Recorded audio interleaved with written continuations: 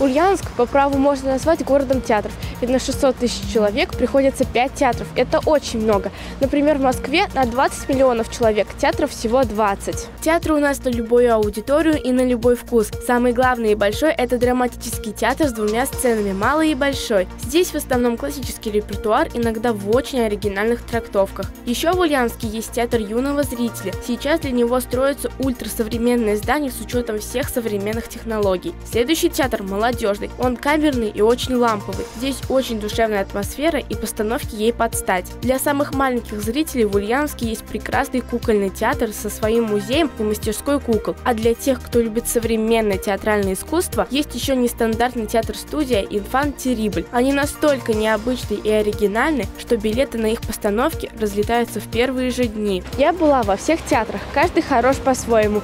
Приезжайте к нам в Ульяновск, я с радостью проведу вас по театрам.